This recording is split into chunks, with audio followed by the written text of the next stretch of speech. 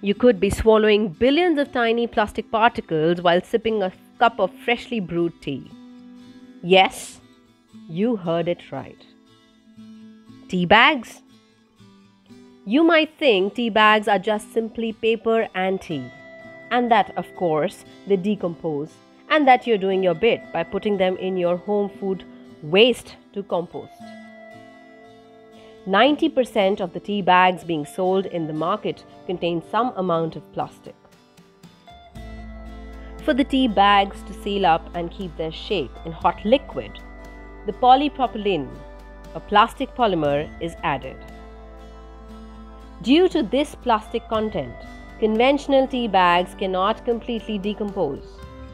And this for sure makes them a bad option for compost material and the environment, not to mention your body.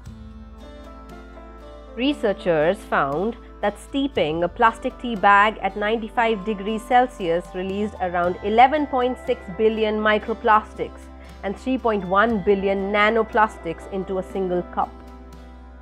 That's much more than other foods and beverages commonly contaminated with plastics.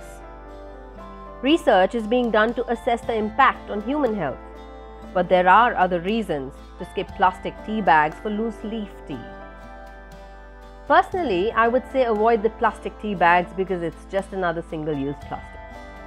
Loose tea leaves are an amazing alternative option that can be used just as conveniently and are typically more flavorful.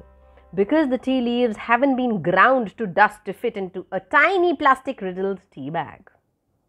Many organic loose leaf tea brands come in easy to store tins and as well as in eco friendly packaging.